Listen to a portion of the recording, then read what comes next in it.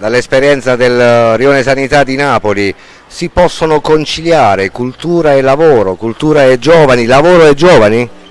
Si devono assolutamente conciliare. Noi alla sanità siamo stati visti e a volte premiati per la cura che abbiamo non soltanto per il patrimonio storico artistico ma per le persone.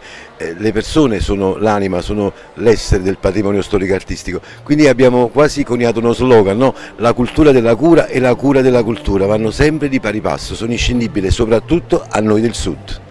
È un modello che si può replicare come nel caso di Manfredonia? È un metodo più che un modello che può essere replicato, cambiano, cambiano gli oggetti, cambia la catacomba, ma beni storico-artistici o paesaggistici ne abbiamo troppi, fin troppi, e di giovani anche, e di disoccupati non ci mancano.